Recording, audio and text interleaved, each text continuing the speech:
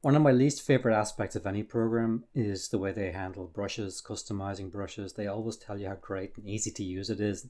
Something in my brain rebels against the way these things have been implemented in every piece of software. I absolutely detest the way they all do it. So, um, including especially Adobe, I just my brain just doesn't see it. So anyway, I've worked very hard to get um, my custom brushes in uh, Adobe Photoshop and uh, then I wanted to bring them into uh, Krita. And bit of an operation, but you know, quite doable. But you got to set aside a few hours for the tweaking. Uh, so I'm going to put my brush tools in the notes below, links to them. So if you want to either use my Photoshop brushes in Photoshop, or if you want to then uh, bring in the my Krita brushes as well, uh, I've done that. So I'm not going to delve into the Photoshop end of it. And there's also a, a YouTube movie that I'm going to link to below where uh, the YouTuber does a much better job of explaining very concisely uh, how the brushes are put together in Krita through bundles.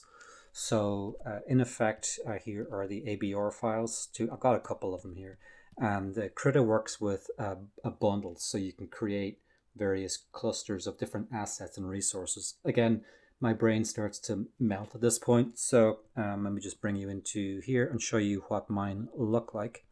Because if you do want to follow along with future courses that I do, maybe you want to try to match my brushes uh, to some degree. So uh, basically you have, when you come into the program, you have the uh, brush presets panel. Let me see if I can make it a bit bigger here. And you can make it a thumbnail or you can make it an icon. So let's go thumbnails. And at this point too, it's kind of overwhelming because there's just so many of them. Uh, it's one of those things where you go, ah, um, Corel paints like this too. There's so many brushes, you kind of have to spend quite a bit of time and be, be ruthless. Like if you don't like a brush, if there's a way to delete it or move it or sequester it, or you know, if the program allows you to make your own groups. So luckily, uh, this program does. So I made my own uh, tag group or tab group called Sketcher and that's where I put all of my custom brushes that I was going to use purely for animation and cartoon design, that kind of thing. So let me go and see if we can make a new, so you can make a new tag. If I wanted to make a new tag, I could do that here and I could assign each individual brush by right clicking on it and assign that to a different tag. And then I can move that brush into that tag. So if you have two different styles of artwork, maybe you want to do painterly stuff with, with really natural brushes, or like me, you want slightly tighter brushes that simulate like a an old style pencil or a pen or a marker. You can do that. So um, you can customize them by coming up here to the brush preset tool. See if it'll let me do it now.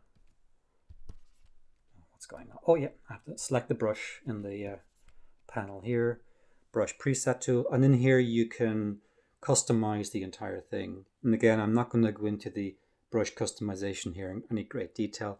But uh, things like scatter will allow you to make the brush a bit bigger. You know, you can then switch that on and off. So you can affect different aspects of the brush, uh, including the tip.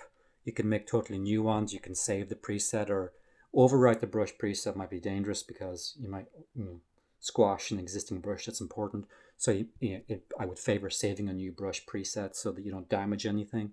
And, and then just spend, uh, like I did, like a good chunk of time basically just drawing with each one, trying to figure out uh, what was best until I finally got my own customs, which, and again, brutal because one thing I found when I had a tab full of 20, I kept forgetting which one I was on. It's even with the name, when you go back here and make it uh, details, it's still easy to forget. So I had to rename everything and backwards and forwards. And there's a couple of days into that. So Again, you might not need to go into that much trouble if you find a brush you really like. But essentially, just to walk you through the kind of brushes I have in this is the uh, hard brush. Let me go back into the, make sure we're in black. Oh, that's the erase, hard erase, soft erase.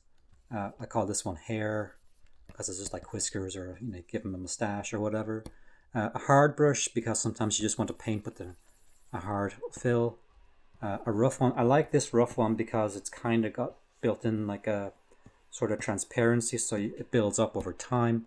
Uh, the shaggy brush, which I brought in from Photoshop, behaves slightly differently. It's not as sensitive as in Photoshop, which is a little bit disappointing. I'm still struggling with this one to try to finesse it a little bit. Um, where if I go a bit lighter, you see it's it's lighter but not smaller. So uh, there may be ways to mess with that. Uh, we have another sketchy brush here, which is very similar to this one, so I'll probably end up deleting that. Uh, we have a soft brush here, very important. Uh, texture line. Let me uh, delete these. Not much of a texture on it, it's, it's very slight. Uh, we have a tight cleanup line, which is nice. So if I do want to do something with a more finished look to it, then this would be the brush I would probably end up using for that. And also another kind of cleanup brush as well. So this will give you like a more a vector line kind of effect. The more uh, graphical look. So I reckon with this small set that I'd be pretty good to you know use that as a core. And if I need something after that, then I can always make another custom or bring in bring in a new brush or whatever. But just to begin with, to be getting on with this is fine. Yeah, that's pretty much it. Um, be patient with the brushes. Probably won't get it exactly right, you know, overnight. Um, and I found myself getting used to the Krita brushes as I began drawing with them because it's again it's sort of like a not quite muscle memory exactly but you're you're so used to photoshop brushes if you've used it like i have for 20 years you really get used to this this line producing this look there is one other thing though i would like to show you about brushes which is kind of something i don't recall too much in photoshop so if we have a brush tool here let's make it big uh, we have brush smoothing so we have none we have basic. See, it's making a slight gap there, but I think that's my monitor really. Oh, no, it's uh, something odd. Uh, we have weighted. And we have stabilizer. Ooh. And now look at the lag. So stabilizer, I think, if you're okay with the lag, um, and you want to draw like something very calligraphic. It's the word I'm struggling to find. And that might be a better way of doing it because I think it would be a lot harder to do that with none. Let's see if I can. Maybe I can. Ah, look at that. It's making bumps. So as you can see here, the original one definitely smoother. That's kind of handy. So I can see case uses for that very definitely. Just be patient with the lag. Um, I'm trying to think if there's anything else off the top of my head, but really this movie was to focus just on the brush heads and how you customize brushes.